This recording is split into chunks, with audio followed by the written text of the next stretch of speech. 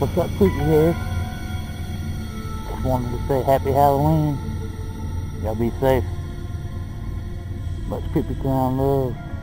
Whoop whoop! Later, creepy head.